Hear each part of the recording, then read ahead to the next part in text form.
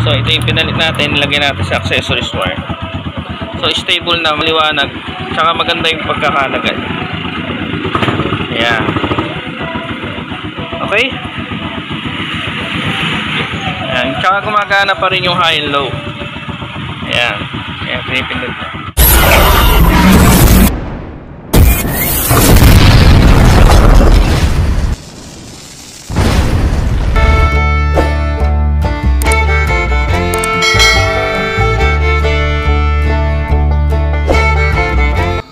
Guys, good day at welcome po sa aking munting channel. Uh, today guys ay magko-convert tayo ng headlight. Okay, uh, i-try na natin. Pandari mo nga, Tre.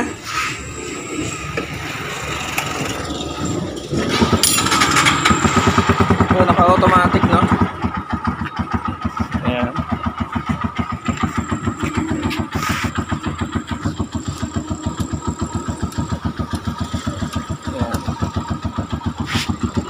So, babaguhin natin linya. Okay guys, kailangan natin gumamit ng relay, no? 4 pin or 5 pin, pwede rito, basta apat na wire lang po yung gagamitin nyo. Yung 30, 85, 87, tsaka 86. So, ito yon nilagyan ko ng mga number yung bawat wire kasi uh, puro black kasi yung color ng wire. So, nilagyan ko na lang ng number para hindi tayo maguluhan. Okay?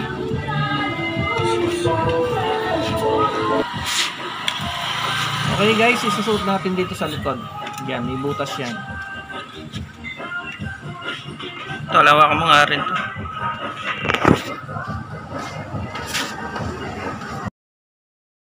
Okay guys, uh, pasensya na kayo, no? Uh, gabi kasi, medyo madilim. Okay.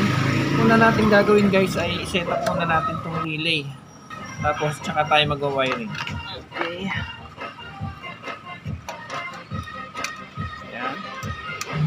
Okay guys, ito na yung apat na wires, no? So, unahin natin yung 30. Yan. Balatan natin. Dali lang. Sige. Number 30. Ito yung 30, no? Oh. Nalagay natin sa sa ignition switch sa kulay red. Ayan, hindi nakabalat na.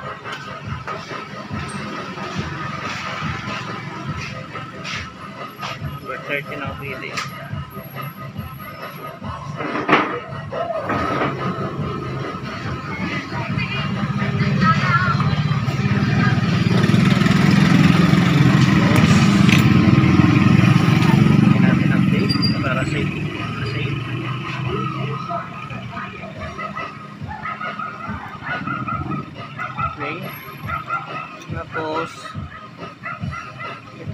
87, 85, 86.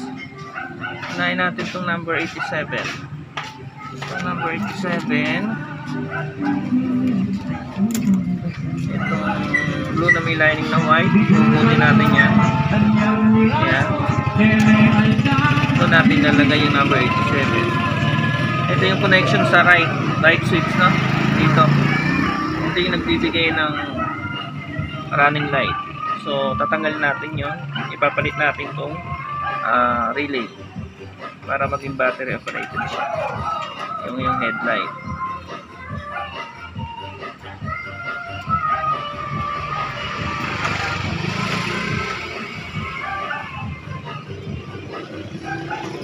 Lang natin.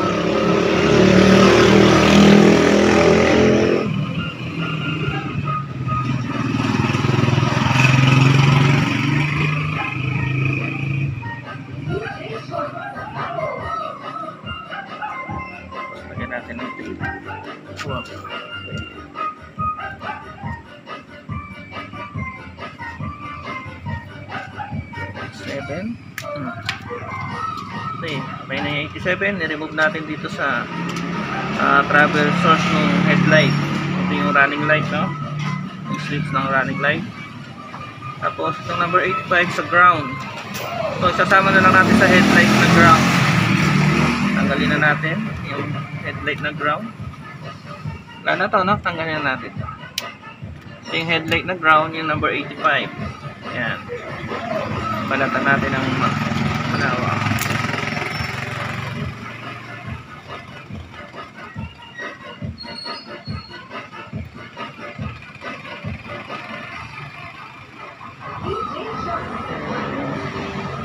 Hindi na maisuot.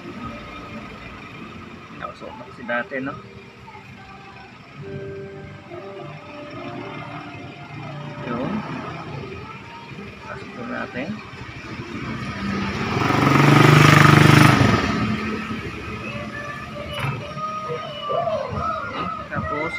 Natin sa kanina.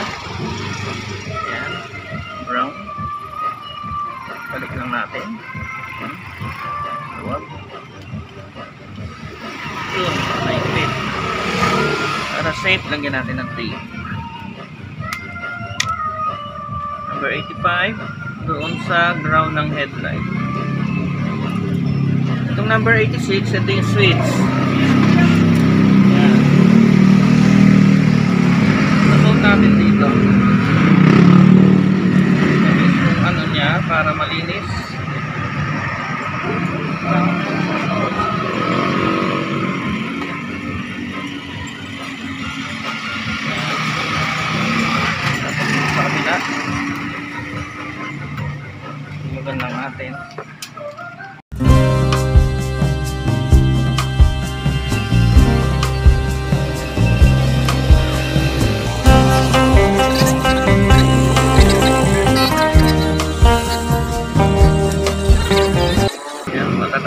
tayo. Yan, susot lang natin dito. Nakita ba? Ayan, susot lang natin dito. Okay. Ayan. So, yung number 86 ng ng relay dito sa isang terminal ng switch. Kuha mo tol? Ayan, tapos babalatan natin to. Ayan. Okay. Ayan.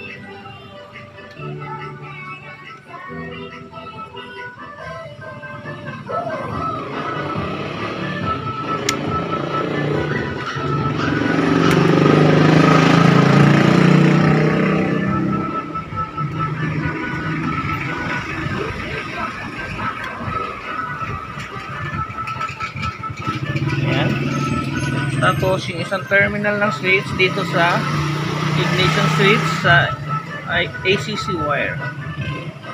Ayan. Ito yung kanyang ACC wire, kulay black. Babalatan natin yan. Yung isang terminal ng switch, ilalagay natin sa ACC wire. Ayan. Balatan lang natin.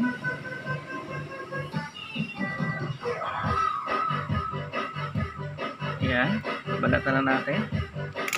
Babalatan natin yung ah, switch. Yung isang terminal ng switch. Ita-transfer natin dito sa ACC wire.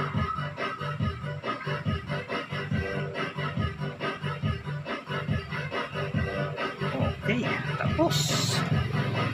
Napakasimple lang. Alam lang ang mga pattern.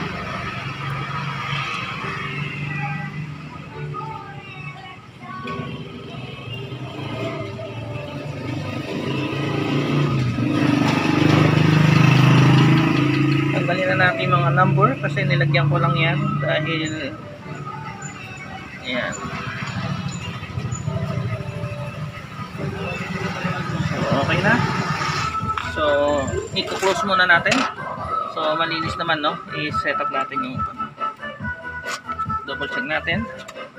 Baka may mga open wiring tayo. So, kung makapansin to, hindi natin ginamit, no? Ito yung running light. So, pinalitan natin ng battery operated. Linis. Ayan. Organize na muna natin to.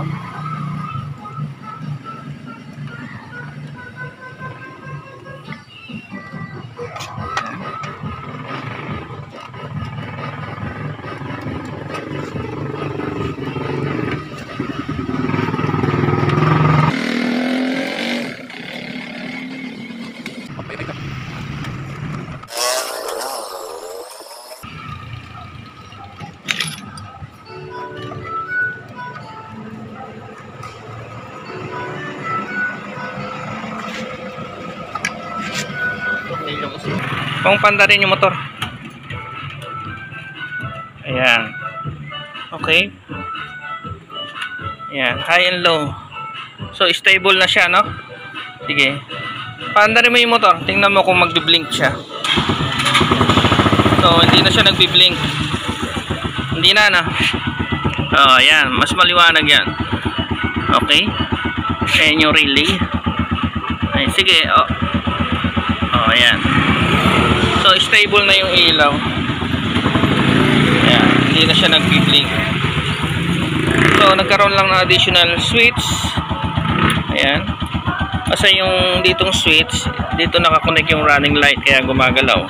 Tinanggal natin yung blue na may lining na white. So, ito yung pinalit natin, nilagay natin sa accessories wire. So, stable na, maliwanag. Tsaka maganda yung pagkakalagay. Ayan. Okay? Ayan. Tsaka gumagana pa rin yung high and low. Ayan. Ayan, pinipindot na.